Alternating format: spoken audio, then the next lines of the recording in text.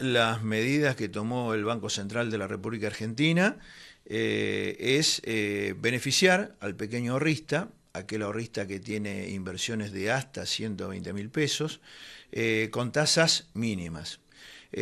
tasas mínimas que deben pagar los bancos obligatoriamente, pero que si la comparamos con las tasas que se venían pagando hasta antes de la entrada en vigencia de esta norma es sensiblemente superior a las que venían percibiendo los ahorristas. ¿Cuánto se pagaba? En, realidad es cerca del 17-18% y esas tasas hoy aumentaron a los plazos que van de 30 a 44 días al 22,89, de 45 a 59 días al 23,41 y más de 60 días al 24,46 a todos aquellos ahorristas, inversores que tengan un máximo de hasta 120 mil pesos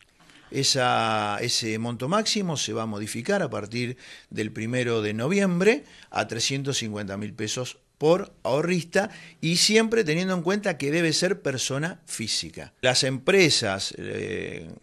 como también los ahorristas que, tienen más de 120 mil pesos ahora y más de 350 mil pesos a partir del primero de noviembre, eh, seguirá la libre oferta y demanda y seguramente los bancos ofreciendo las tasas que cada uno propone.